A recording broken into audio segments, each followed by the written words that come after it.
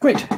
Good afternoon and welcome to the first um, session of Sunoikisis Digital Classics uh, Spring 2021. Um, this is the Digital Cultural Heritage semester um, that, uh, that we're just starting off now. Uh, this semester is, um, is co-convened by myself, um, by Alicia Walsh, who you can see to my right, um, and also by Andrea Wallace and Valeria Vitale, who are um, who are not with us this week, but will will appear in the next time in the next couple of weeks. Um, today's session is the first session of this semester, and the session is on 3D imaging and scanning, and um, will be primarily taught after a, a, very brief and insignificant introduction from me um, by Alicia and Kelly McClinton, who um, is also joining us here on the screen. Um, before we start that, I want to just sort of very quickly introduce the semester as a whole for, for those of you who, who will be coming back and watching um, the rest the rest of this. Um, so um, I have the program uh, here. Um, and uh, let me, um, sorry, zoom, zoom that in a bit. yeah. Um, so, um, so this this this the program has um, several several sessions on um, aspects of uh, 3D imaging and um, uh, and, and modeling. Um, so this session, um, also the session in week seven and week nine, um, which will talk about different aspects of, um, of 3D, and I'll talk more about those um, in a moment. Um, we have several sessions which impact on some aspect of um, of mapping and ge geographical technologies and spatial technologies. Um, in particular, the, the week two next week on community mapping, a section a session on uh, linked geographical data in week four, and a session on geographical information systems, which is a kind of geographical database in week six. And there's also a thread through um, through several of these sessions and some of the other sessions on aspects of legal and ethical issues around cultural heritage, intellectual property, um, uh, ownership of, of of heritage, and um, and how does that is that ownership impacted by our digitization of or digital treatment of um, of that sort of heritage? So there's, there's those are the, the, the threads um, running through the the semester. Um, for the um, for the three sessions on on 3D, um, we we want to talk a little bit about. Um, for this session, we're focusing on um, on 3D imaging, but I want to um, talk um, a bit. So here, I'll just throw up the slides for this session.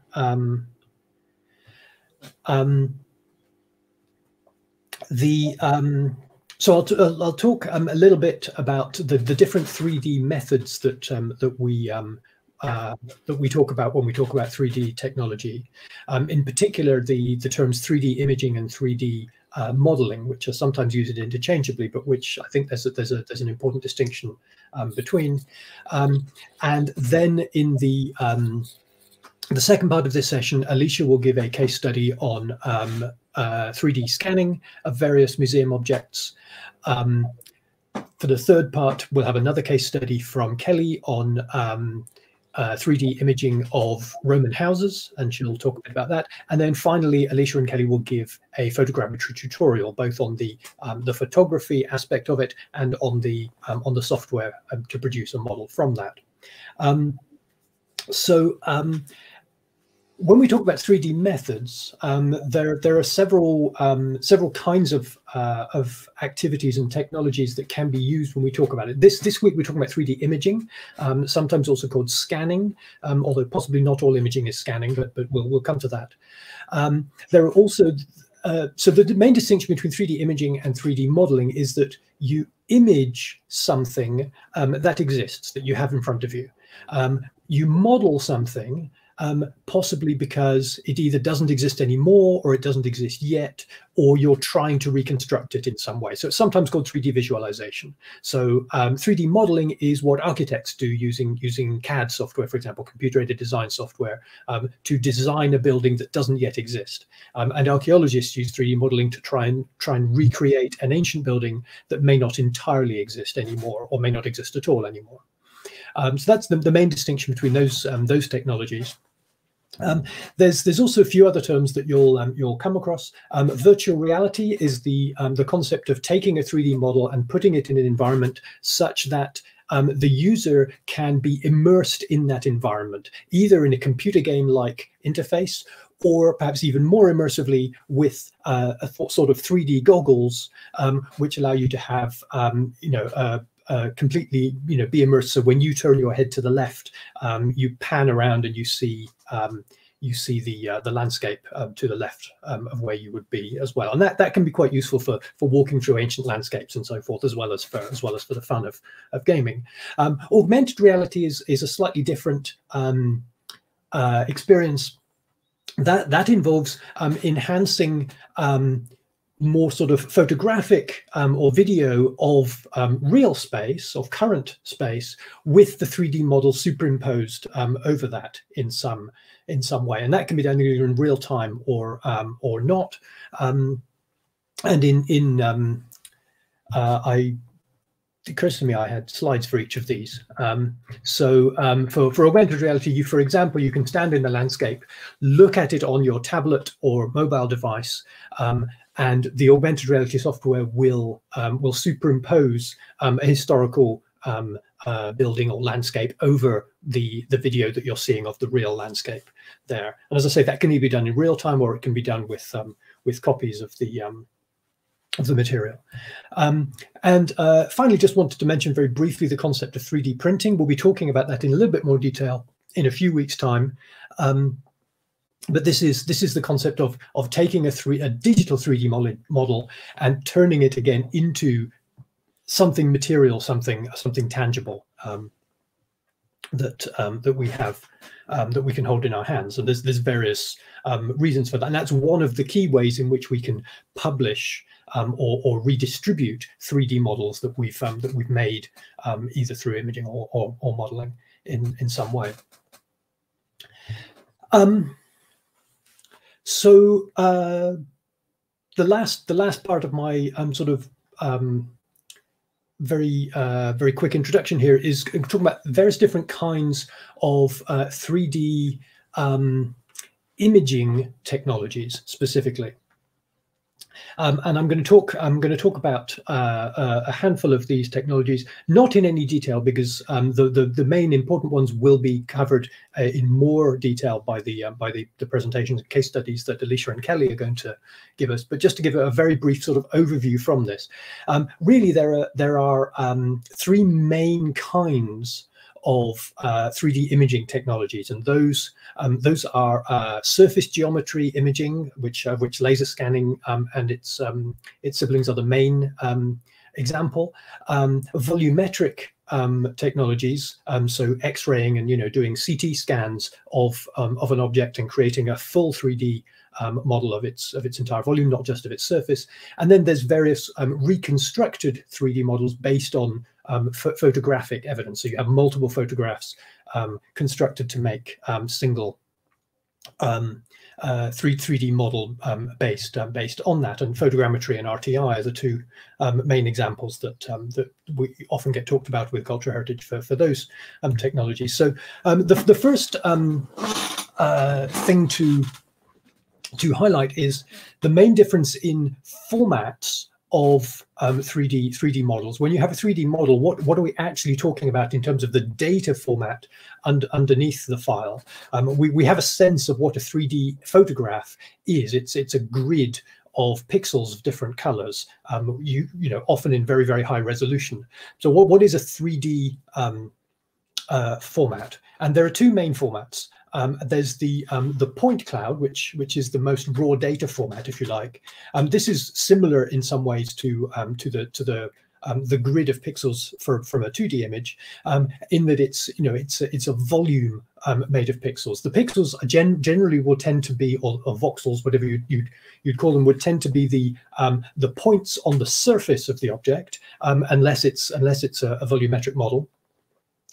Um, but each point represents a point in space that um, that is, you know, that is part of the outside of this. And these points, um, therefore, can be um, uh, plotted on on a, a three-dimensional um, uh, matrix. They they can they they have x, y, and z coordinates, um, and this you know a 3D model can have millions and millions and millions of points in order to be relatively to be high high resolution. So which is why 3D models are so so big in terms of file size very often. Um, but um, but a point cloud, because these points um, are arbitrary points, and a point, geometrically speaking, has no um, has no dimensions. This isn't in, in, in itself a 3D model. This is this is a set of points in space which can be extract, interpreted on in various ways to make to be to be used as a 3D model. You have to think in terms of um, various uh, mathematical formulae to turn it into a a um, an impermeable surface. Um, so one one of the ways in which um, uh, 3D models are represented that that has an actual surface rather than just these um, these points is is a 3D mesh. And what a mesh is is is again it's a series of points, but those points are all linked with one another to make a series of triangles. So we what we actually have is a series of triangles making the surface. This then is a solid surface. It has no gaps in it. You don't have to do any interpretation or extrapolation to turn it into something that you can, for example, 3D print, or that you can, for example, merge with another 3D object or attach in some way. So those, those are the, the two main um, imaging outputs um, that we talk about. Um, and and in some of the um, the presentations, you'll say, well, from this we created a point cloud, and then we had to turn it into a mesh. That's that's what they're talking about. These these sorts of um, uh, these these are the two um, formats that we're talking about. Um, so just um, very quickly, um, the, the, I put these slides in here more for you to look at the slides than for me to talk about them. Um, but the, the main um, types of, of scanning, so there's um, the time of flight laser scanning. This works exactly like uh, you know sonar or something similar to that works um, you you shine a laser at an object and by measuring how long it takes to come back to you you know how far away it was because you know what the speed of light is. Okay? And if you shine millions and millions and millions of lasers um, at slightly different angles then you get back a very detailed 3d image of how far away the lasers got before they were reflected back to you. Um, so that's that's the that's the concept of um, time of flight. Um, another model um, for laser scanning is triangulation, where you have two lasers um, sent. And by both being reflected back at slightly different angles, you know exactly where in space relative to the two um, emitters and the two receptors, um, the, um, the, uh, the, the, the, the, point it's bouncing back from is.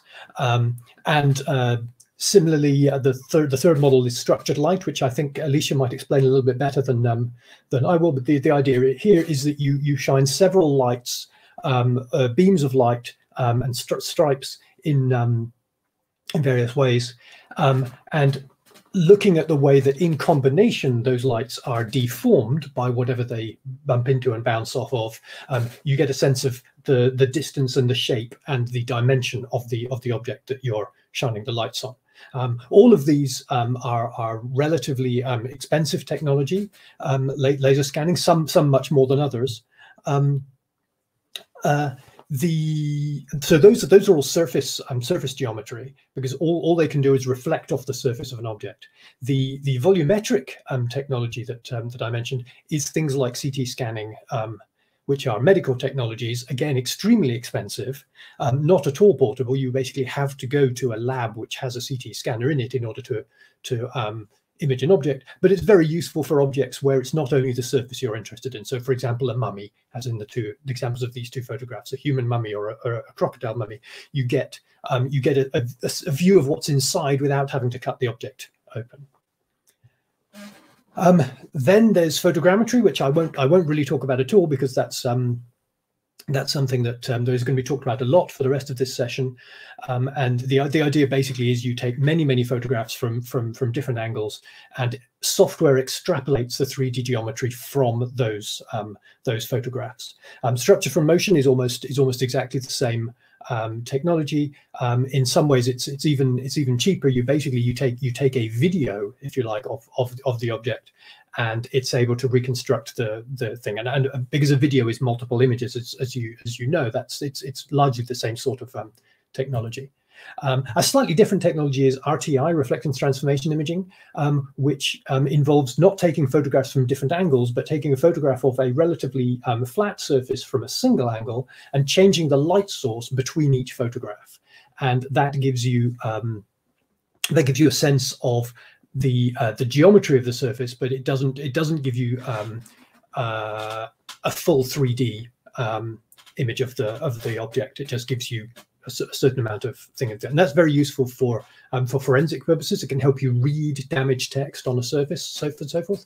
But it doesn't um, it doesn't necessarily uh, give you a full 3D model that you could print in in the um, in the full sense. Um, so um, that was the last of my um, slides. I think I'm handing over to Alicia. I should have said um, by the way, sorry, that I should have said at the beginning. Um, uh, firstly, apologies for starting a little bit late. There was the usual technical snafu that um, we um, we come to expect um, when using computers in any context whatsoever. Um, and secondly, that um, greetings to everyone watching us live. Please do use the live chat feature on the on the right hand side um, or below the video on YouTube, in um, depending on the view you're using, um, to to both say hi, but also to um, to ask questions, and in particular towards the end we'll have a bit of um, a bit of discussion. Um, uh, this this session is also available. Uh, on YouTube after the um, after the live session is over. So if you're watching this um, not live, welcome also. Please feel free to use this video in any um, uh, any context you like. We um, we um, have open licensed this this YouTube channel so that it can be used um, pedagogically. Please feel free to re-show this in a classroom or to to you know assign it to students um, as reading. Likewise, for the session page, there's a link to that on the um, below the YouTube video. Um, so um, that that has readings and exercises and so forth. All of these things are meant to be used as open um, educational resources. So I, I use these in my class, but that's not the only reason we're, we're doing this. Other people use these for, for other reasons as well. So so that would be um, that would be great. I uh, hope that um, if you're watching this live, you are able to turn on YouTube's automatic captioning feature. Um, I don't haven't tested that unfortunately, so I don't know how well that works. Apologies if it's not um, working um, that well, but um, but I believe that the, um, the, the YouTube's automatic captioning feature does turn on when you watch the archived version of this. Um, so so at any rate, hopefully that that will work. Um, but um, so I think that was all the things that I should have said at the beginning as, as a preamble. Apologies for putting those out of out of sequence. Um, also, apologies for eating into um, into Alicia's time. Please um, go ahead, Alicia. All right, thank you, Gabby, and yeah, thank you to, to everyone joining us today. Um, just to add to the technical difficulties, I will be showing my screen, but I can't do it in presenter mode. So uh, bear with me a little bit there. And okay, so before I start, I just want to give a quick disclaimer that um, I will be showing some images and 3D models of human skeletal remains. So my apologies if that causes you any discomfort. So today I'm going to discuss the differences between the between three main technologies used in 3D modeling or 3D imaging, sorry um, laser scanning, structured light scanning, and photogrammetry. And then I'm going to talk about a project I was involved with through Leiden University, in which I created a digital reference collection of artifacts using these three methods. So I'll go into the workflow that I used to capture each of the objects, um, as well as some common problems that I ran into, which may be of interest to you in case you're just starting out in 3D imaging.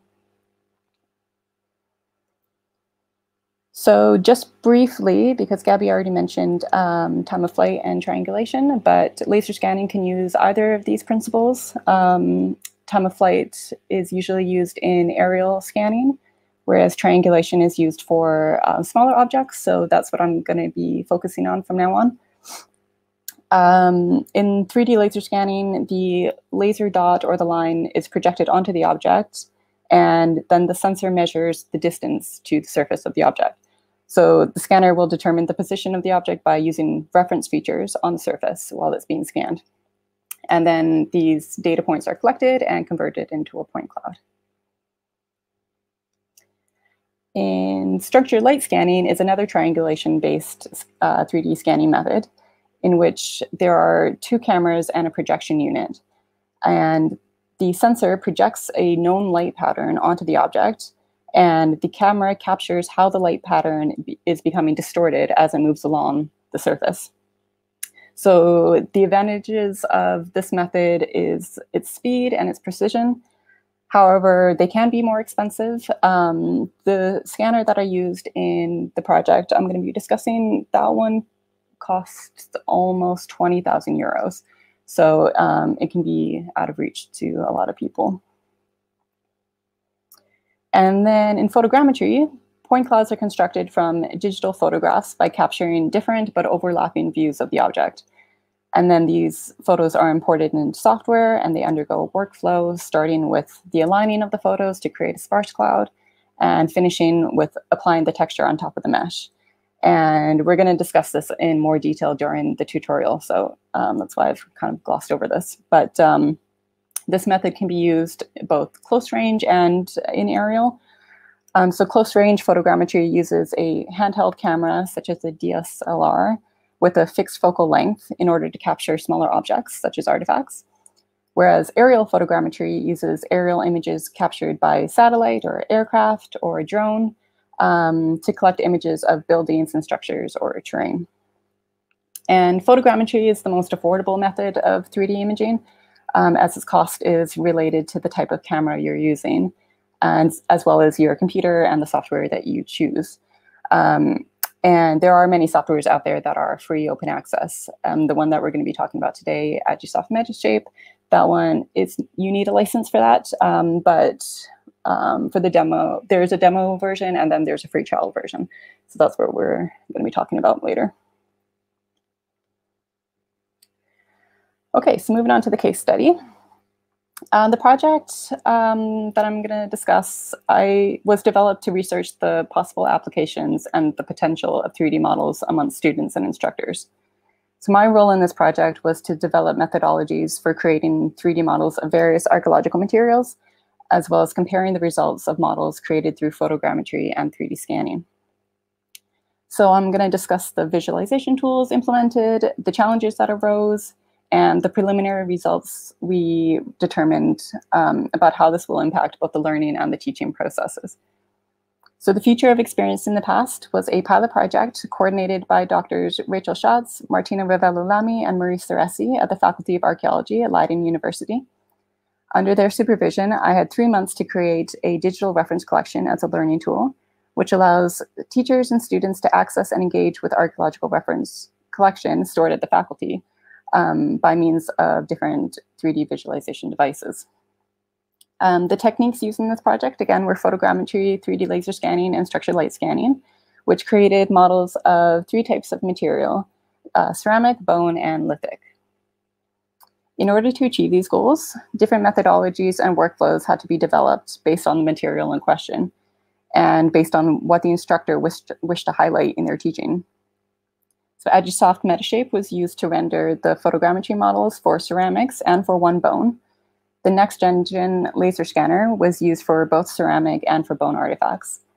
And for lithics, the Artec 3D Space Spider scanner was used, which was a structured light scanner. And the Artec was also used uh, during the last few weeks of the project on bone and ceramics in order to complete a comparative analysis of the results that could be achieved with each technology.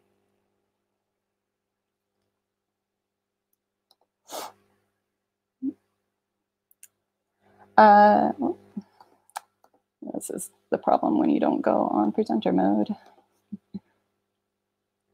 So the materials were chosen so that the project coordinators may use the digital artifacts in their classrooms when access to the physical material was too difficult. Um, so like when the ratio of students to material was unsuitable, or if the material is too fragile to handle in the classroom. And the goal was for students to access them on their own devices and to be able to view them as study material um, at home uh, with the help of annotated models. And each instructor had individual aims for visualizing their artifacts. The 3D ceramic models uh, will be used to show varying manufacturing techniques used to create the object and how to relate different surface macro traces to relevant production methods. The bone artifacts, on the other hand, will be used to highlight various components of a bone, or say bones that make up a skull, um, or deformation due to disease, um, all when there's low access to the physical material in the classroom. And finally, the lithic artifacts benefited from 3D scanning so that an extensive reference collection could be built on many different types um, and to document their raw material and descriptions um, so that students, again, can study them in a more interactive way. So starting with ceramics, um, the goal was to teach students about surface traces on the ceramic vessel, as well as show varying production techniques. Um, as these surface traces are often difficult to detect, a high resolution mesh had to be created.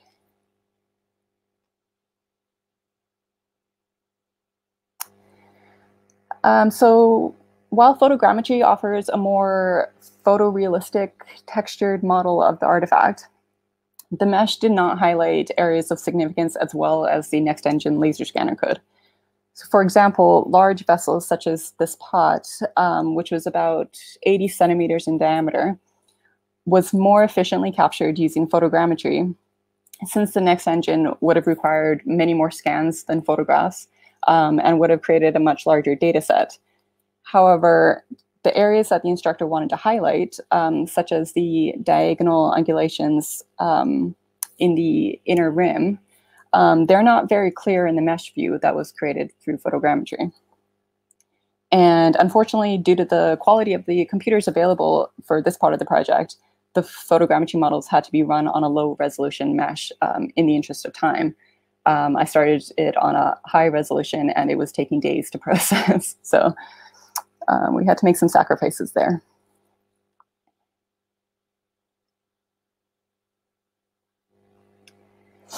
So the NextEngine was able to capture a higher resolution model in a shorter period of time. Therefore, it was the technology of choice to all objects that were suitable in size. This Byzantine oil lamp um, has a high resolution mesh, which shows striations and pinching. However, the texture is um, not fantastic, um, although it does suitably show traces of soot on the spout there. And creating a workflow for ceramics was the most challenging and time consuming out of the three object types, um, as each pot or sherd had a unique shape or surface.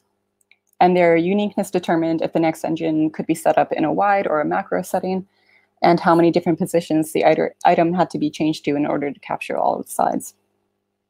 So of the 285 models that were produced during this project, 32 of them were ceramic.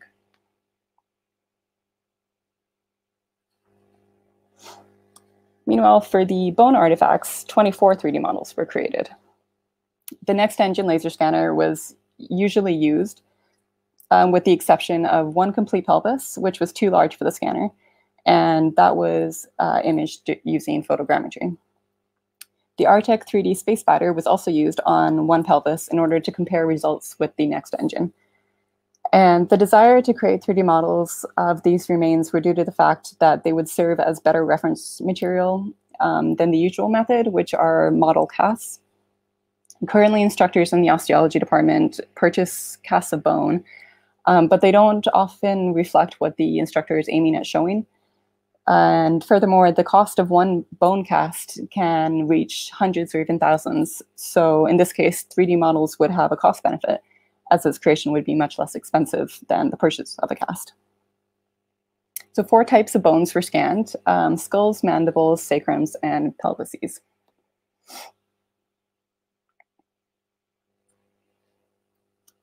So one bone, this complete pelvis, was too large for the laser scanner to capture. So Agisoft Metashape was used to process um, the model, which yielded a high definition textured result. And since the instructor wasn't looking at surface traces, um, a low, low to medium resolution um, mesh was sufficient.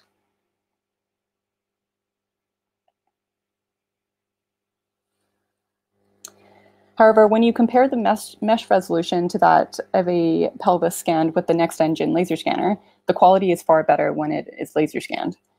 The bones were placed on a next on the NextEngine turntable for a 360 degree scan, and then the objects were repositioned twice and two bracket scans were completed.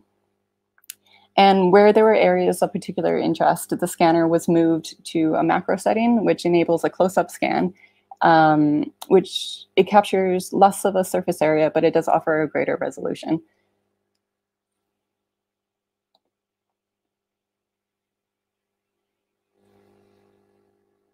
Then a comparison between 3D scanning capabilities was done when I gained access to the Artec Spider.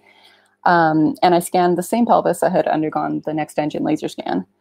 And this pelvis was of particular interest because of the pathology present on the hip joint and is often difficult to pick up with a scanner or by photogrammetry. And the Artec Spider was able to capture this pathology to a higher degree than the NextEngine. However, with this particular pathology, which is osteoarthritis, um, it was also unable to be captured completely um, by using the Artec because of the shiny surface that the disease tends to leave on the bone.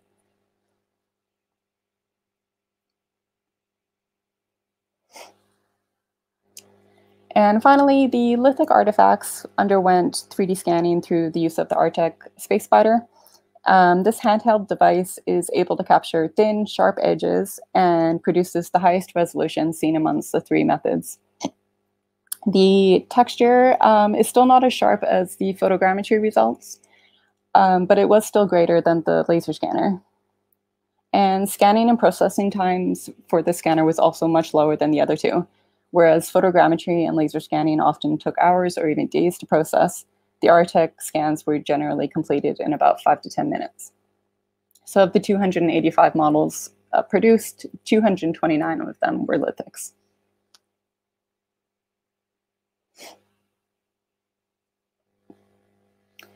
And a few lithics were also 3D scanned using the NextEngine laser scanner, um, but this was before I gained access to the Artec. Uh, one particular model created was of this flint core and flake, and this was to allow the instructor to demonstrate to their students how flakes were struck off of the core and to show its refitting. Um, so to do this, um, I scanned two separate models, the um, core and the flake, and then exported them into Blender uh, to create an animation to show its refitting.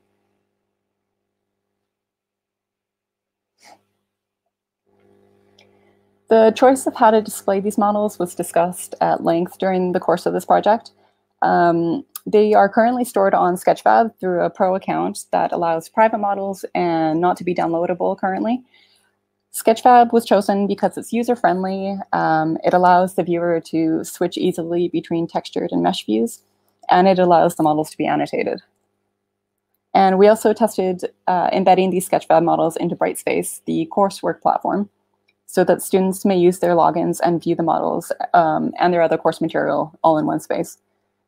So we hope to make this digital archive public um, so that a greater audience can access it. Um, this, de this decision is going to depend on ethical approval from the faculty, as discussions need to be held over um, publishing uh, models of human remains online, as well as releasing unpublished data. So a total of 285 3D models were created for this digital reference collection, 32 ceramic, 24 bones, and 229 lithics. The number variation is due to the material's need for constant change in setup, and the processing times for the device used. In terms of point resolution, the best results were yielded through the Artec Spider, followed by the NextEngine, and finally through photogrammetry. However, the use of these technologies is not always realistic in projects such as these. Photogrammetry remains a popular option for 3D imaging as it is the most cost effective. Um, it produces photorealistic textured results. Um, however, when aiming to show macro surface traces on ceramic material, it's important to have a high resolution mesh, which was better created through laser scanning or structured light scanning. The NextEngine laser scanner is a suitable cost-effective tool for cultural institutions to use. However, it is an older device and um, the camera on it does not have a very high resolution. The Artec 3D Space Spider created the highest resolution models and it was very user-friendly and had the fastest processing times. However, as I mentioned, it's very expensive. There were two main challenges that arose during this project, uh, time and the technology available. As it was a pilot project, we were given enough funding to complete three months of full-time work to create this collection, one month for each material type. However, it was a challenge dividing time um, to create enough models of varying examples so that it could be used as a reference collection.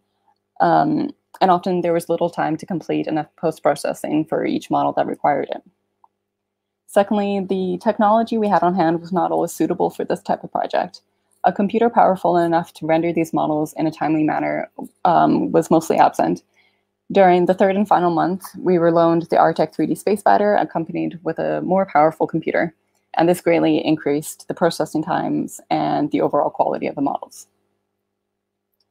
Um, having to deal with objects greatly different in nature, material, and dimension posed the biggest challenge in terms of determining the appropriate workflow, um, evaluating the equipment needed, and the time investment. So this large pod, for example, um, which I originally rendered using photogrammetry, I wanted to try the Artec spider on it to see if I could get a better resolution model. However, using the Artec on a vessel of this size came with its own challenges. Um, the Artec needs to keep a consistent distance from the object, and that was quite difficult to maintain while moving around the pod and looking at the computer screen. It also created an enormous amount of data. Um, I took 56 scans of this vessel, and which all then had to be aligned. The preliminary results of this pilot project uh, were assessed by holding a mock class where students were invited to a lecture where both the ceramic and the bone models were used by their respective instructors. Each short lecture uh, included an introduction to the material, um, and then the models were projected to visualize points of interest on the material. The students were then given uh, physical objects different from the 3D models, and they were asked to locate specific traits on the object with the help of the digital reference uh, viewed on their own devices.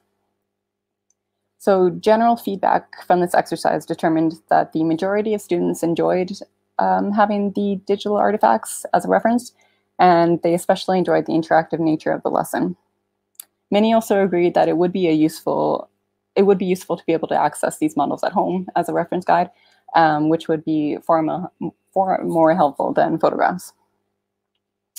The challenge that almost all of the students mentioned was that the models did not load quickly or they lagged. And this could be a result of the file sizes that were uploaded, and that can be fixed by decimating the models um, so that they can be viewed on standard computers and tablets. However, sometimes you can lose quality of a model when you decimate it. Um, another downside was that the use of 3D models in the classroom increased screen time, which many found to be a disadvantage, and the necessity of bringing a laptop or a tablet to class when they otherwise would not or they could not was also viewed as a downside. Of course, this evaluation was conducted before the pandemic, so um, I wonder if the feedback would be a little bit different now. And finally, one interesting comment mentioned was the ethical aspect of the project. Um, while ethical approval should be granted before publishing human remains online, one student noted that they thought it was more respectful to view human remains in 3D um, rather than handling the physical object in the classroom. So I just wanted to give a thank you to the project managers and everyone else involved with the project. And then I will pass it back to Kelly, I think. Great, thank you. Thank you very much, Alicia. That's um, that's really um, useful um, presentation. The um, I think what was particularly useful was the the detailed um, technical discussion of the different um, the different approaches, which I think has given us you know some good some good um, grounding there, especially comparatively um, and so forth. Um, and I think the that uh, Kelly's um, uh, case study was chosen to highlight particularly the um, uh, the the academic and research value of doing this sort of imaging. So so that that that'll be you know make a very useful um, complementarity between the two um, the two sessions. I also just wanted very briefly to mention that um, you uh, you discussed Sketchfab there briefly, and that we will be discussing Sketchfab in a bit more detail in about uh, six weeks' time, I think. So um, it would be um, good to be able to come back to that. So um, apologies for the intervention. I hand over to Kelly. Well, thank you for the fascinating presentation, Alicia um, and Gabby. It was really interesting to kind of hear from both of you. Um, so I'll go ahead and share my screen, I think. Yeah, okay.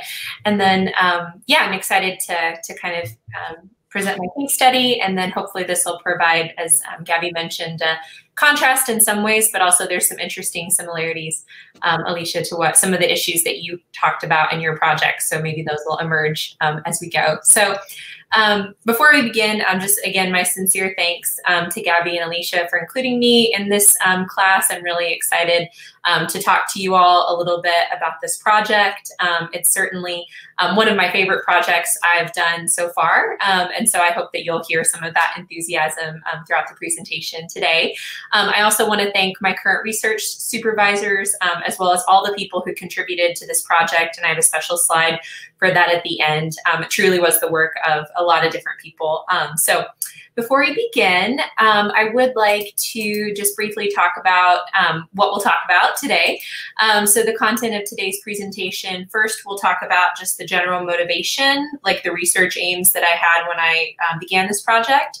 Um, we're going to skip for today photogrammetric modeling as archaeological illustration, um, but there is a, a publication, which if you want to learn more about that, you can go read about that. but I will talk about the project background, the, the methods and the materials because I know that's very interesting um, to those of you taking the class who want to learn how to do photogrammetry, which we'll be doing soon at the end of this um, presentation, and then the case study results and my conclusions um, from the research project. So I'll probably have the same issue with the video playing. Yeah, Okay, so here you can see a video of the photogrammetric model of room 16 in the house of Marcus Lucretius in Pompeii. Um, these structures face danger of both damage and destruction post-excavation, as I'm sure you're all aware. And while efforts are underway to preserve the material that has come down to us today, finds begin to deteriorate from the moment they're exposed to the air. Photogrammetry has begun to be used for documentation, preservation, and as a first stage in the reconstruction of archaeological sites, which I'll talk more about in a moment. But photogrammetry is also well suited to aiding in the analysis and interpretation of Roman domestic art and architecture, as I will present today. So this presentation will discuss the results of several photogrammetric campaigns undertaken in the house of Marcus Lucretius. In the process, I'll explore both the combination of perception studies with digital modeling and the use of photogrammetric models in particular to represent and explore complex relationships in space. It should be noted that mine and ours is certainly not the first project to be undertaken on the house. On the left, you see a 3D restoration model recently produced by the Pompeii project at the University of Helsinki, um, which is an incredible project, and I encourage you all to, to go explore um, that work. Another project was recently undertaken by Summer Trentin and has recently sought to create a SketchUp model of the site. Apologies, I don't have permission to share images of that project, but similarly, please um, go research it. It's a fascinating article.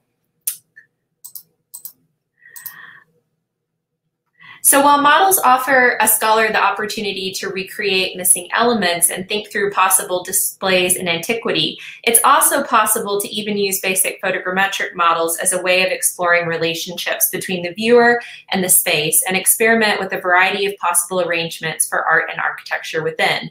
So our project attempted to do just that.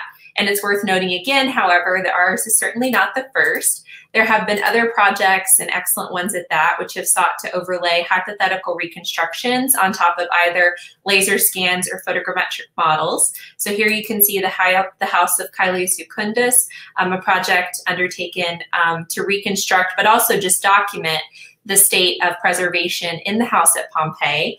And this software then allows the user to toggle quickly from one model to another, thereby facilitating a kind of quick visual comparison between the reconstruction model and the extant material record. Um, so for example, this project included both in their visualization, and as will be presented um, later in this class, this is possible using 3D GIS or other geographic information systems a bit closer to home, so to speak, uh, members of King's College London and the Visualization Lab, as well as in project with the Oplontis, um, in conjunction with the Oplontis project, created a model of Villa A, or the Villa of Poppaea, in Unity 3D. And this visualization allowed a viewer to simply press the R key on their keyboard and toggle between the current and restored state of the villa on their desktop computer. So these types of models are useful in a variety of ways um, for studies concerned with viewing, interpretation, and perception. And so I'd like to present several specific concrete ways um, that these can be used in projects such as mine. Um, so it's generally assumed that aspects of social significance um, within Roman domestic space are embedded within the house and that it's possible to more fully understand Roman daily life through the careful observation of these features.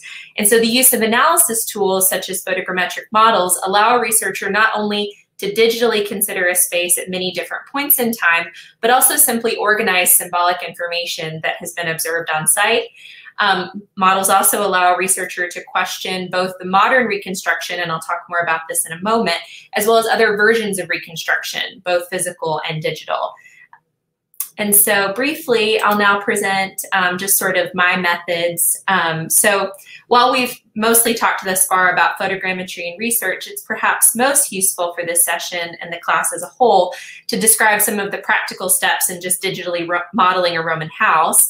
As with any research project, the methods and instruments used for data capture depend on the model's intended application, as Alicia already mentioned. And so for the purposes of this case study, we wanted to create a high resolution photogrammetric model with the primary goal to facilitate a deeper understanding of the space and explore interactions throughout the house. This type of modeling provided the following benefits to our project. So it's possible for a single person to capture and process the model components at a relatively low cost. The results were photorealistic and useful for interpretation and analysis. And again, I'll talk more about this in a moment. And the state model, or just photogrammetric model, was also a great starting point for further reconstruction. So we actually were able to use the photogrammetric model as a space to build off of a reconstruction model so that we could ensure, again, with that quick back and forth, that the um, the model, the the reconstruction model, thinking about the way that something might have been um, built in the past, is actually you know founded in what we're seeing on the ground, so to speak, at the archaeological site. In addition, it was possible to embed missing materials such as wall paintings that had been removed to a nearby archaeological museum or deposito. So to create a photogrammetric state model of an architectural space, the first step is a thorough photographic campaign. For the case study described here, our team used a Nikon D850 with a 28 millimeter lens, which was well suited to low lighting conditions within the house. Um, we developed a single process for photographing a room, which I'll present in a moment. And then the same process was used for each room and then multiplied many times over. One of the keys of photogrammetric modeling, um, as Alicia will discuss and has discussed, uh, is that it's generally aimed at overlapping between shots. And so in general, for each photograph, we um, tried to overlap at least 40% between each photo. And then an architectural space complicates the general single item approach to photogrammetry a bit because rather than envisioning sort of a sphere around the individual object, um, you have to capture every inch of the room. And so a useful way that I try to think about this is to simply reverse the shapes. So if you imagine yourself in a, in a center sphere in the middle of the room, and then sort of look outward from that sphere, every element um, of the room, of the ceiling, of the floor is something that needs to be photographed and sort of included in your model. Um, so briefly, uh, scaling is also very important for this type of project, especially when dealing with such a large space. Um, so for each room, a set of laminated targets were set down in each corner of the room, as well as at midpoints for the larger rooms. And the distance between each target was measured, giving our model a relative scale. Um, a tripod was also useful, especially on the uneven mosaic flooring. Um, and then a monopod was useful um, to photograph some of the higher areas of walls and ceilings. Um, as you can imagine, if you were trying to photograph um, a high ceilinged cathedral or something like that, sometimes it's necessary to have a monopod to capture some of the geometry that's beyond your reach. So here's an outline of kind of how we moved around an individual space. Um, so for each room, the camera and tripod were first placed in the center of the room and three rounds of photos were captured, one aimed at the lower portion of the walls, one at the center, and then one at the upper regions using the monopod. And this floor plan shows the process um, generally overtaken, so starting at those purple arrows in the middle and then moving out um, to the blue and to the pink and eventually um, the orange. Um, and depending on the width and height of the room, the tripod and monopod were alternated as needed. Um, we used the same camera, um, so we simply mounted the camera on the monopod and the tripod kind of alternating as needed. And then after these rounds were complete, the camera was positioned closer to the wall to capture areas of detail, such as especially flaking pigments or details in the wall painting that we found particularly interesting. Um, for the high resolution model, just, just to give you an idea of each room, um, for smaller rooms, it was generally necessary, such as if you look at um, room six or room seven, about 600 to 900 photos for those rooms. And then for the larger rooms like the atrium, sometimes as many as 2,000 photos. Um, so once each photographic campaign was complete, the photos were then edited for consistent exposure. Um, we used Adobe Lightroom, but any any software um, that can do mass editing can be equally useful. And then during this process, it was also critical to take a number of photos at transition points, um, such as doorways, where tie points between individual 3D models were more likely to be created. So while we did each room as sort of its own photographic campaign, we did eventually want to stitch together a model of the entire house. And so using those tie points between doorways and windows is a really useful way to create those connections between individual models. And then once the photos were complete, Post-processing was actually relatively quick um, for this project and once we had exposed correctly all the photos um, automatically. And we used RealityCapture to stitch our photos together, but as we'll talk about in a moment, Agisoft, Agisoft Metashape would work equally well. Um, and then we just edited the draft to prepare the final version and delivered copies of the photos and 3D models to the Soprintendenza, uh, and then finally uploaded to Sketchfab, uh, which is, as Alicia mentioned, a, an online hosting uh, service for models.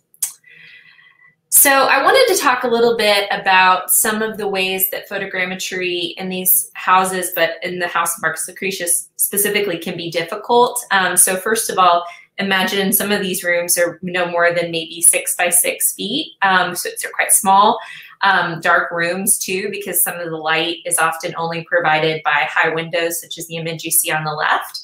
Um, so for these rooms, especially that um, really powerful lens and camera that can uh, illuminate low light well were super important. Um, I'm not sure we would be able to do some of these um, rooms without the use of that high quality camera.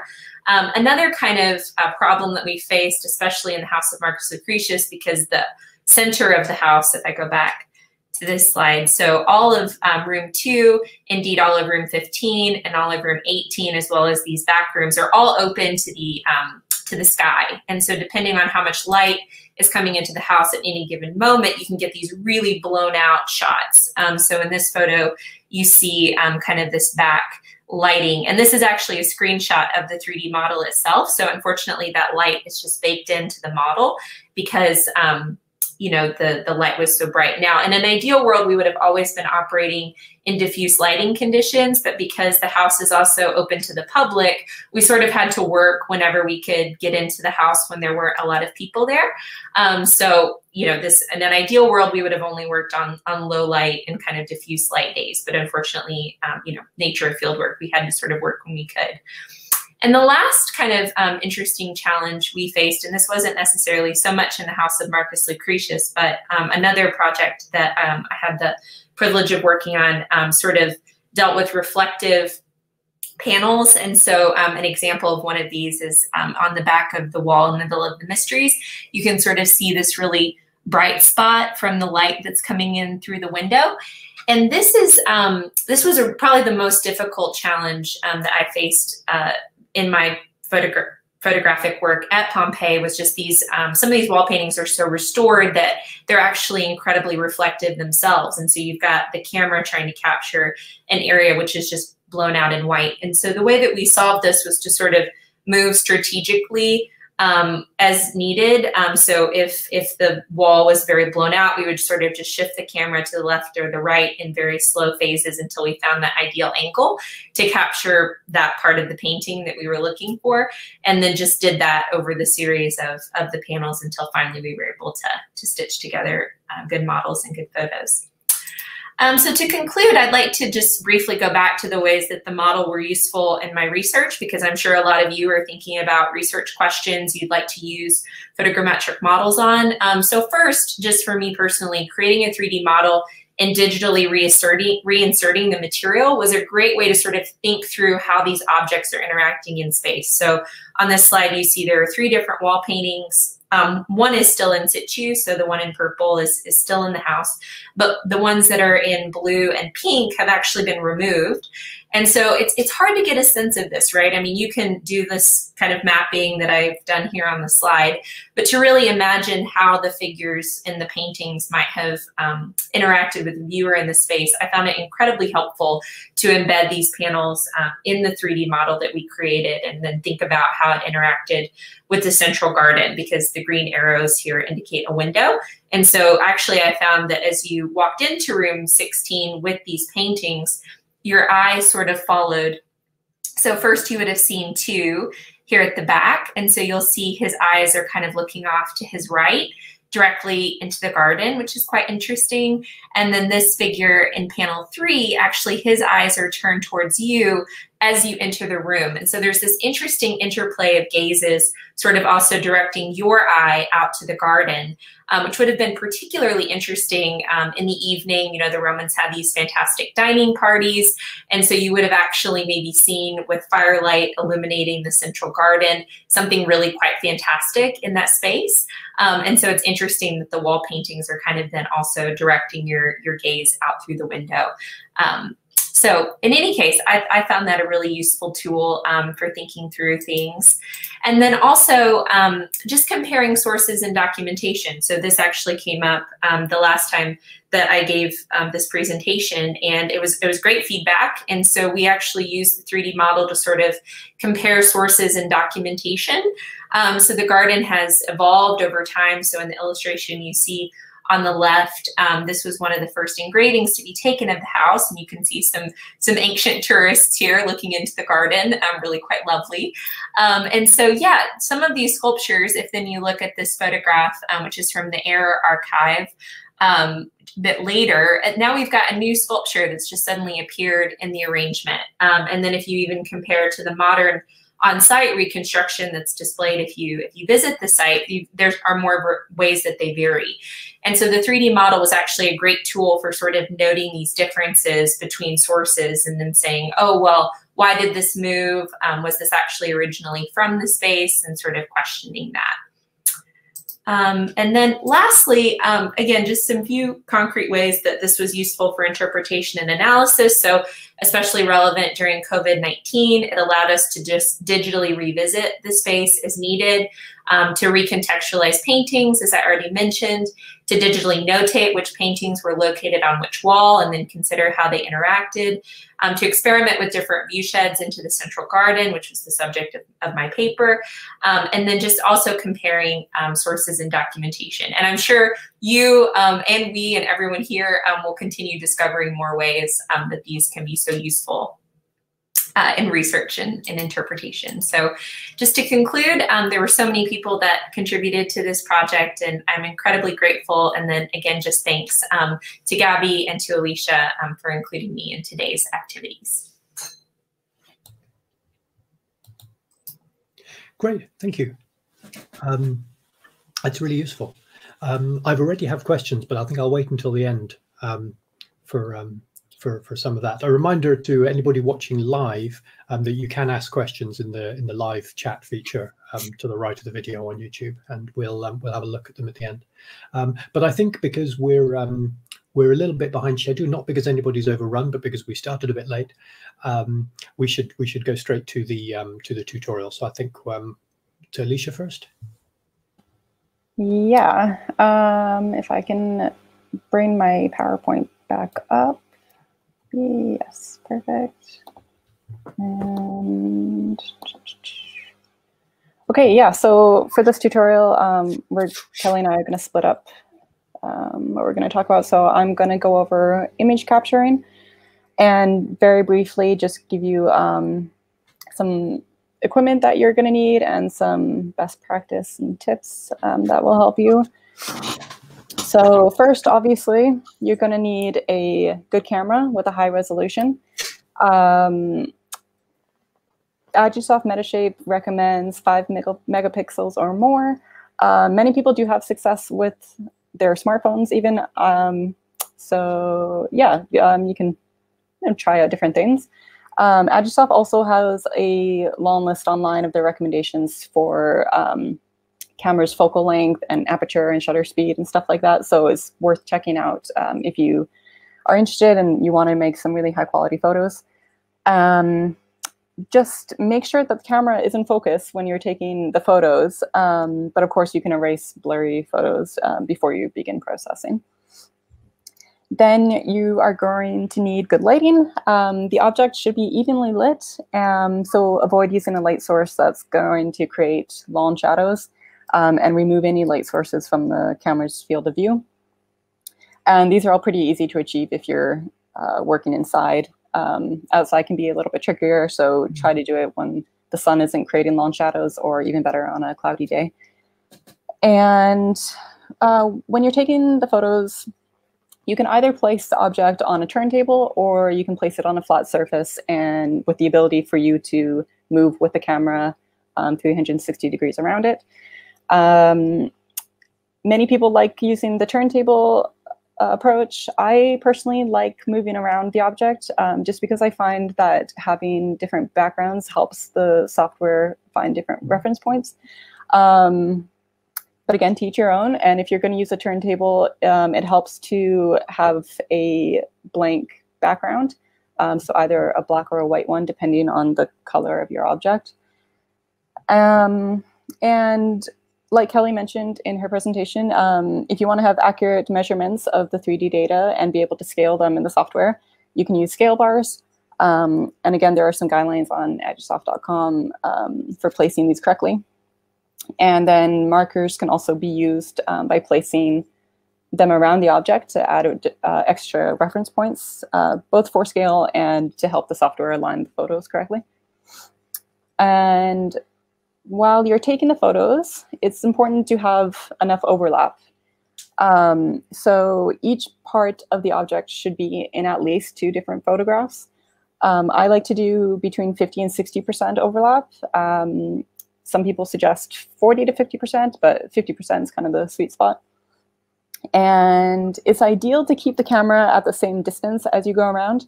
Um, but in some cases, you may want to do a close-up, which is fine um, as long as you're moving the camera without changing the focal length of the camera, um, because this causes confusion for the software. And make sure that the object is in a stable position. So you should not move the object while you're taking photos. And if you accidentally move it, then unfortunately, unfortunately you will have to start over. Um, ideally, you want to take your photos and process them immediately um, so that when you're processing them and you find that you missed a spot or something's blurry, then you can go back to the object which has not been moved and you can just take a couple of photos. Um, but uh, this isn't always possible. So um, like say if you're taking something, shooting something outside and then you go inside and or process it another day, then um, you may have to start all over again. And um, it happens and it may probably happen the first time. Um, so just be patient and keep with it and you will get better over time. and um, then I want to just show you some, if I can go back to the view of me. Yeah, okay. so just to show you really quickly, um, just how you would take the photos. So say I wanted to take, make a 3D model of this 3D printed stone baboon that Gabby and I printed together um, in London.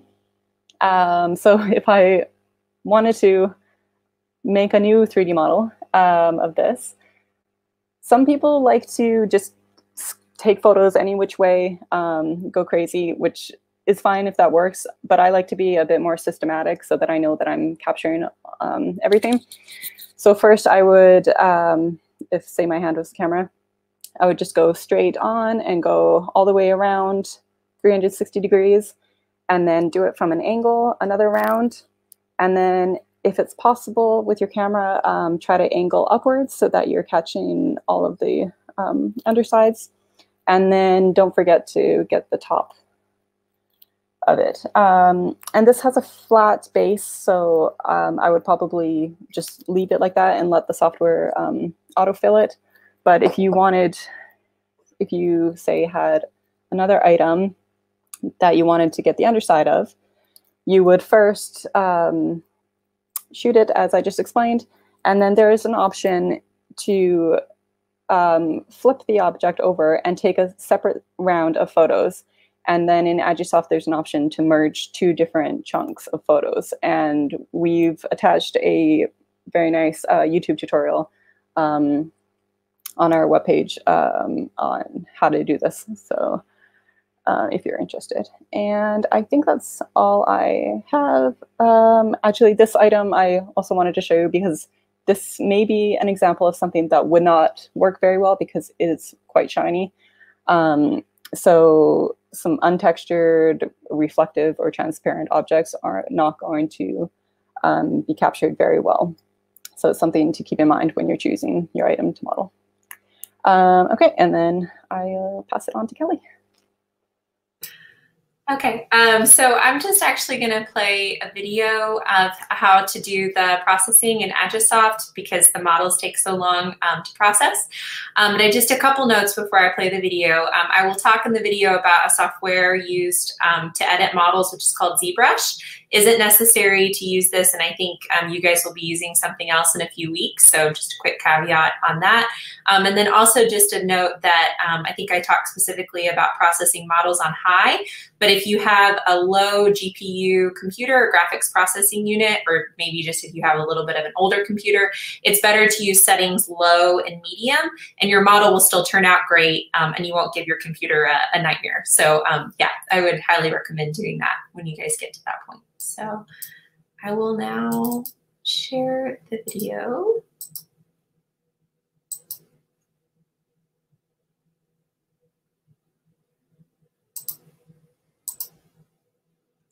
Um, Gabby, I guess with the with the sharing issue, maybe could you play the video actually?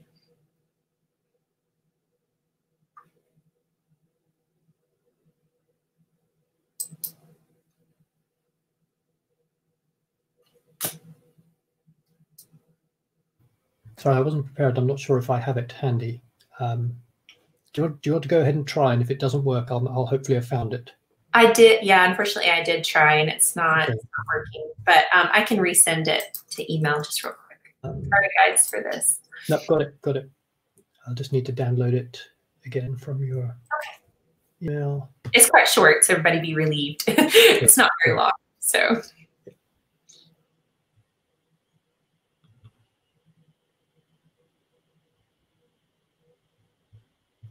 Okay, let me just uh, see if I can share that.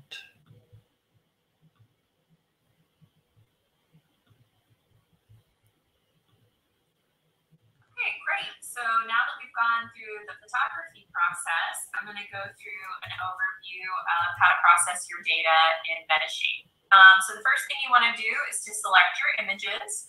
So you'll see as soon as we come into Metashape, um, there are uh, just the normal kind of Windows uh, options on the top left. So file, edit, view, workflow, uh, model, photo, tools, and help. We're going to spend most of our time in file and in workflow. Um, I would encourage you, as when learning any new software, to check out those other tabs um, and figure out what they do. Um, but for today, we're just going to do a step-by-step process. Um, so if you go to workflow and add photos, if you find the folder on your computer where your photos are located, um, and if they're not in a normal file format, you'll have to convert them. Um, so for instance, I know iPhones um, create like a proprietary formatted image. Um, you will need to convert those to either JPEGs or PNGs. Um, you can just Google how to do that. I think there's a free converter available that we used in the spring semester. It's quite easy.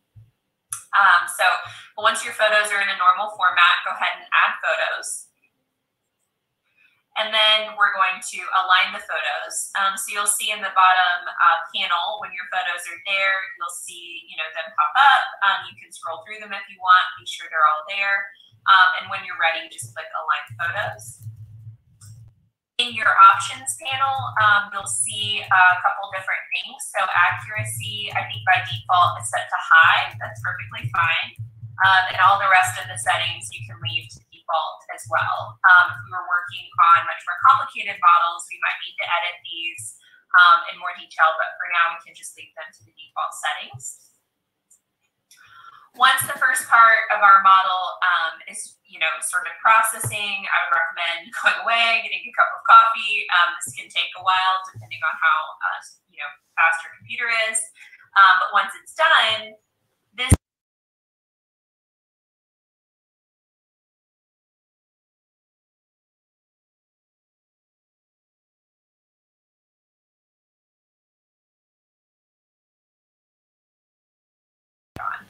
Um, some things to look at here, um, Metashape gives us this nice um, blue kind of preview of where each photo was taken.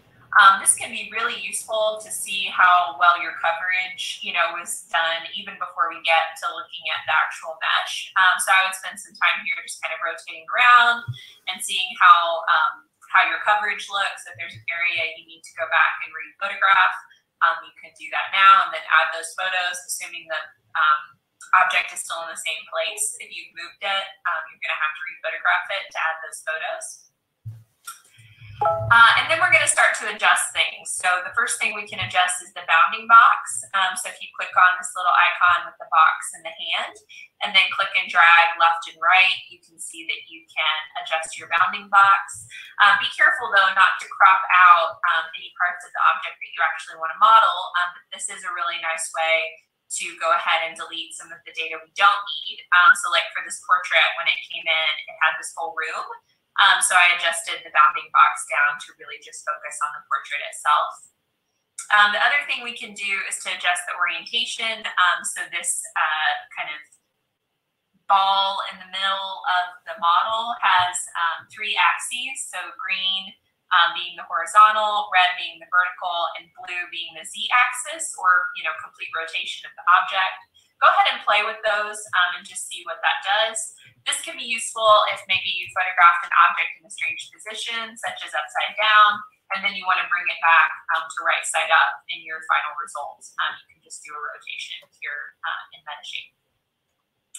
And then we're going to go ahead and progress on to the next step. So if you go to workflow and build mesh, um, that's actually going to generate, right, like we talked about, um, the second step of the 3D modeling process, which is uh, an object that has vertices, an object that is linked um, into a plane. And what we're going to get is something like this. Um, so as you can see, because I didn't uh, adjust my bounding box the first time, I'm seeing the entire room in which the object is located. Um, so if I wanted to go back and do this again, I would maybe adjust that bounding box down a little bit. But ultimately, we can edit this out in ZBrush. It just saves you time if you have your bounding box set properly from the get-go. So go ahead and spend some time um, inspecting it, right? Um, how does the mesh look? Um, to see the actual portrait here, we would have to zoom in past the blue boxes or toggle those off, um, which you can do by going to cameras and um, the little camera here and turning that off. Um, but for now, we're going to go ahead and build the texture. So again, in workflow, go ahead and click build texture and that'll take some more time to run. And then finally, we are ready to export for editing in ZBrush. So to export, just go to File, Export, Export Model.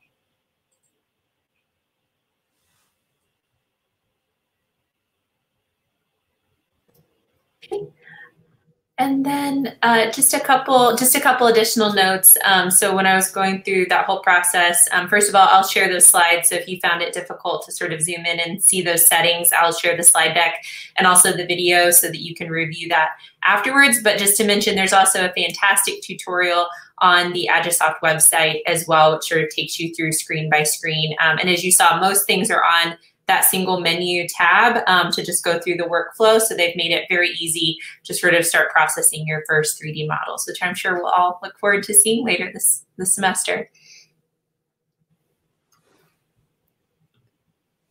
Great. Thank you. Thank you both. That's um that's really cool. Yeah, I think the um the point about the um the the resolution and the quality settings in um in Metashape um, it really does depend on the on the machine. I've found um, unless I'm using a specifically um, high-powered machine designed for 3D um, processing, um, that it's much better to use medium or or sometimes even low quality on um, on some of those settings. But it's uh, uh, even even a fairly good laptop that's not that's not you know a, a specifically gaming or 3D um, device and can struggle um, with some of the steps in particular. So um, so try it on high-ish quality, uh, maybe the second highest quality first time. And if it says this is going to take 92 hours, then stop and start again on a you know on a lower quality, which is um, um, just to see yeah see how it works some steps will will will go fairly quickly it might take five or ten minutes but but even at high quality but some steps will you know 96 hours was not an exaggeration um, um, so it also depends how many photographs and how big your photographs are. So if you've got very high resolution photographs, um, or if you've got 100 photographs or more, then it'll it'll be very very slow to to, to do the rendering in um, in Metashape. Uh, but, but if you have um, you know a smallish number of, um, of photographs, if you so 20 to 40 photographs, you should still be able to get a 3D model if it's not too complex an object. Um, obviously, the more photographs, the better. But for this experiment, you know, you might be fine with a smaller number. Um, but yeah, you'll you'll you'll have to experiment. Um, I, I, fully expect that everybody will have to try it at least three times to get um, to get a, a, model that they're happy with at the end. So so do be prepared to to give it a few a few attempts and don't be don't be discouraged if it doesn't if it doesn't work immediately. Um, likewise for the photography you'll you know you'll try various different methods and you'll realize you've missed a spot. Despite you know everything that alicia said you know you'll you'll you'll miss under the chin or something like that you know. Um, cool.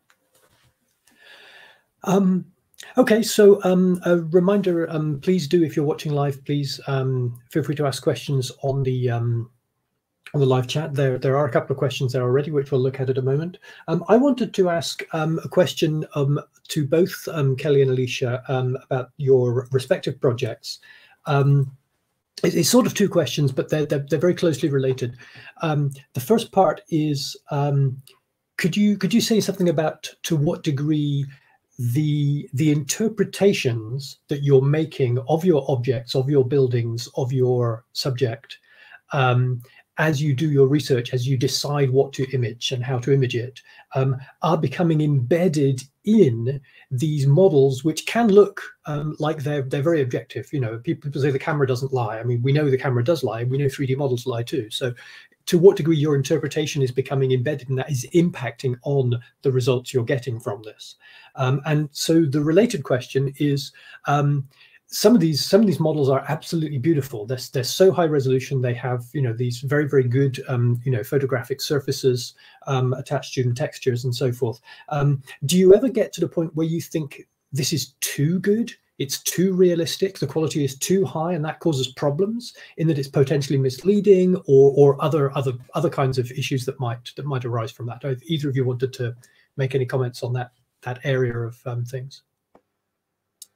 Um, yeah, well, in terms of interpretation, I for the project I mentioned, I kind of had to train myself to think differently for each material type.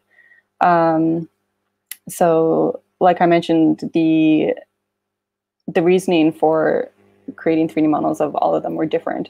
So I had to think, okay, like one, it's really important that I have a, a good texture, whereas another one, it's not important, um, but I need a good mesh. So it really, um, yeah, determined how I went about it and again, determined the software that I used.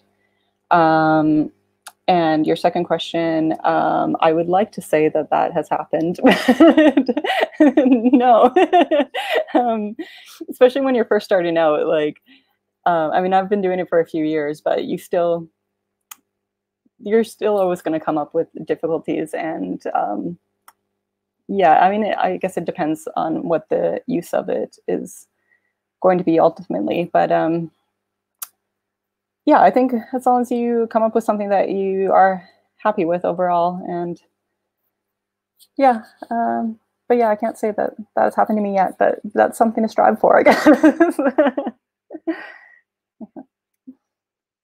yeah, and I, I would just yeah add I think like because my project was specifically I was wanting to interpret the material, I think that certainly played a part in every stage in the project. And when we published the material, you know, we stated that clearly saying the goal was to do this type of model. And so I think it would be a very different thing if our goal had been documentation and yet we then started using. So I think it's good to have your goals for the project very clearly defined at the beginning and then sort of every step think about, am I actually using the model in the way that I stated I would? If not, how, how could I change that or what do I need to be noting about that? So yes, definitely incredibly important.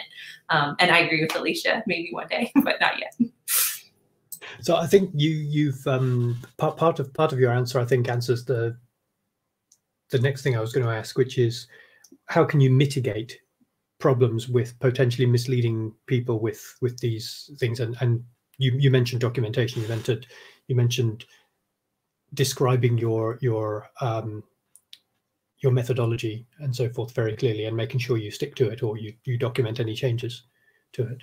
Um, yeah, I guess it's um, important to be transparent in your um, in your process and always attach your uh, metadata and your paradata whenever you're publishing um, anything anywhere. So, yeah.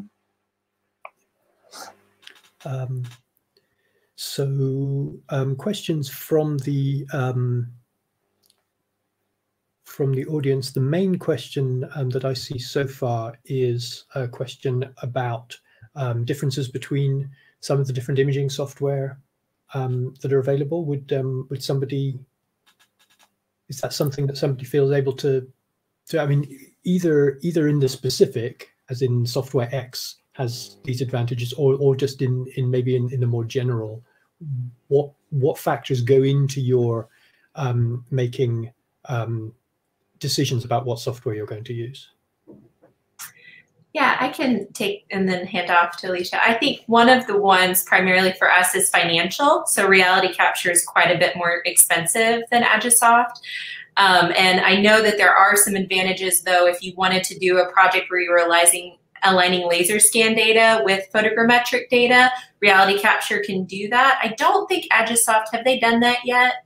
Can you now align laser scan data with photogrammetric data? I don't think so. If they have, it's a recent update, and apologies, I'm not aware of it. So the advantage of if you had, for instance, a um, like I showed that point cloud of the House of Marcus Lucretius, it would have been incredible to be able to do a laser scan and then have the photogrammetric data and compare exactly where they were accurate, exactly how you know each scan was differing. And I think you can align your photogrammetry data to the laser scan. So if the laser scan is more accurate, you can snap your photogrammetric data to that, and suddenly your whole model becomes a lot more accurate. So we definitely want to do that in the future with that project, but we have not pursued that yet just due to financial constraints on the project.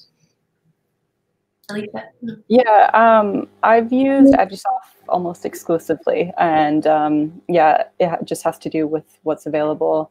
Um, if your university has a license um, for something, and my university had it for Agisoft, and um, I think it's a really great program, and there's lots of tutorials online of um, how to work with it. But there are uh, free softwares that you can use, such as um, Meshroom is one, and we have linked a tutorial for that one too. So um, yeah, there are lots of options out there, and depending on your budget. So. so budget is the the main the main thing that's come up um, for for all of these. The the functionality is largely, I mean, all of these allow you to manipulate models. All of these allow you to generate the the 3D data into a into a, a point cloud and a mesh. Yeah, I think all of them have all the same workflow, basically. Mm -hmm. Yeah. So. Yeah. Yeah. Um, yeah. Obviously, some will be more specialized than others, and yeah. yeah. And some, I think, you may have a limit on how many photos you can upload. Um, so that would, mm-hmm. um, yeah, determine which one you want to use. So. Yeah. And some will have um, uh, technical requirements on the machine you're using. Some mm-hmm. some will work on all platforms. Um, some some don't. Um, I think we we found at least one very good free um, tool that doesn't work on Windows, for example, that, that was um, that was awkward. I forget which one that was, but we, we, we decided not to use it for that reason. Um, but um, um, there's also a difference in how the licensing structured. So for RealityCapture, I think you can get a three month demo, but then you have to purchase the entire software versus Agisoft, which is ex again extremely expensive. Agisoft, I think you purchase it right and you have it for its entirety. So there, there was some, so we used RealityCapture a little bit, but then discovered, oh, wait, we have to purchase the whole license, so we can't use it sustainably throughout.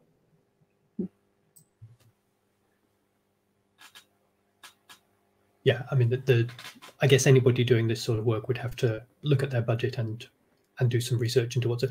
Also, we could give we could give advice on this, but anyone watching this video in six months, it may not be may not be valid anymore because new tools will have appeared, new functionality will have appeared, pricing might have changed. Yeah. Uh, yeah. Okay. Um, did either of you have any questions for each other before we before we end, or anything else you wanted to add? Um, no, I didn't have any questions for Kelly, but I just wanted to say thank you for your presentation. And I thought it was um, really interesting. And I really liked the um, part about embedding the, um, the wall paintings into the 3D model just to add that extra uh, interactivity. And um, how you had to deal with um, people coming into the room too while you're working on it, like the nature of field work. so yeah, so just, yeah, thank you for sharing. Yeah, no, I was really fascinated by your project as well. I was going to ask you since you worked with so many different types of materials and you just talked about this, you know, a minute ago that it it sort of was a different thinking process each time. So I was wondering if you would feel comfortable just kind of sharing how you had to change your thinking for dealing with a ceramic versus working with a bone fragment for the photogrammetry, but then also maybe just in general how you're thinking differently about each material set. Yeah, well, I mean, it had largely to do with what the um, project managers wanted out of it. So um, it just was a lot of discussing with them. Um, and yeah, it would, had to do with the equipment too, because I mean, I tried to do uh, work with lithics on, using photogrammetry and laser scanning. And usually it wouldn't work because like they were quite small and the edges were just so thin that uh, it just wouldn't capture it at all. So um, yeah, it was just a lot of a lot of discussing, a lot of trial and error um, until you you found I finally got the the right thing that worked. So, yeah, just a lot of playing around. yeah. Yeah, it's fun. comparative process to work with so many different types of material in a, such a small space in three months, you know, to kind of think about each one. So that's fascinating. Yeah, yeah I, I enjoyed doing it. It was um, interesting to like um, yeah get to prepare compare all these different techniques and then um, get to handle different uh, material too which maybe i normally wouldn't get to in um, like smaller projects so. Great. Yes. No. Thank you. Thank you both very much um, indeed for this. And the, that that thanks is being echoed by several people in the chat, mm-hmm. um, um, saying saying they found this very useful and very helpful. Um, I think we we probably have run out of time. Um, the um, uh, so if you're following this session specifically for the 3D content, the next 3D um, specific session in this um, in this semester is on March 4th, um, which is on various aspects of publishing and sharing 3D models with some discussion of, of intellectual property, where we'll be joined by Tom Flynn um, from Sketchfab and Dinusha Mendis from the University of, Bournemouth. Um, there are other, other sessions um, as well that, that will be um, of, of interest. The, the GIS session, for example, will be a, of interest if you're interested in 3D landscapes and so forth. Um, but the next session in the Digital Cultural Heritage module as a whole is next week on uh, January 28th, and we'll be joined um, by James Morley from the, um, the creator of the Street Near You app and uh, Valeria Vitale from the um, the Locating a National Collection project at the British Library, um, who will talk to us about community mapping. Um, so please do join us for that um, if you can. Um, thank you. Yeah, and thank you, Gabby, for um, hosting and for giving us the overview in of 3D imaging in the beginning. And yeah, thank you everyone for joining. Yeah, thank you again. Cheers.